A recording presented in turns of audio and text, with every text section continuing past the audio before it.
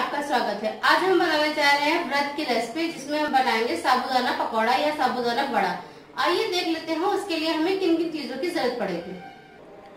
सबसे पहले हमने एक कप साबुदाना लिया है, जिसे दो घंटे हमने भिगो दिया था और उसका पानी छान लिया है।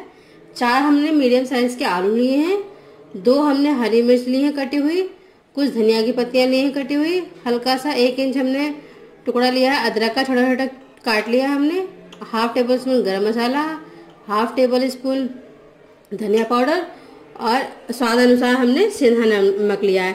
आप चाहें तो इसे बिना सिंधा नमक का ही बना सकते हैं। हम ये व्रत का बना रहे हैं, इसलिए इसमें हम सिंधा नमक डालेंगे। फ्रेंड्स देखिए हमने आलू को छील के उसका अच्छे से मैश कर लिया है। अब इसमें हमने जो भीगा हुआ हमारा साबुदाना था, उसे डाल देंगे।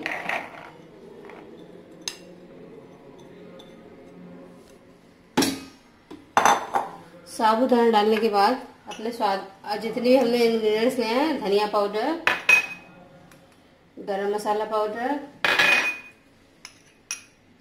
अदरक जो हमने छोटी छोटी काट ली थी वो, हरी मिर्च,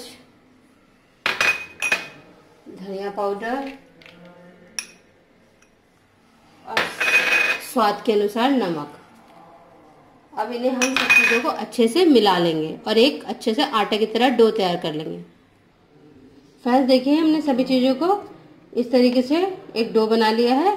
अब इसके हम गोल गोल बड़े बनाएँगे। आप जिस भी शेप के चाहें उस शेप के बना सकते हैं।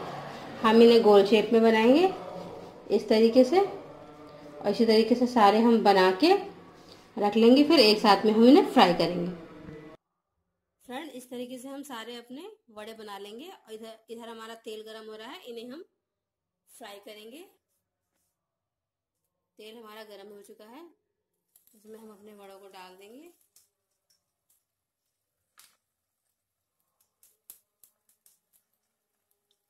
और इन्हें गोल्डन ब्राउन होने तक फ्राई करेंगे। फ्रेंड्स, हमारा साबुदाना वड़ा रेडी है। इसे हमने सिंधा नमक से बनाई हुई हरी चटनी के साथ सर्व किया है। अगर आपको मेरी ये रेसिपी पसंद आई हो तो प्लीज़ मेरे चैनल को सब्सक्राइब और लाइक करना ना भूलें। साथ ही बेल के बटन को भी पुश करें। Thank you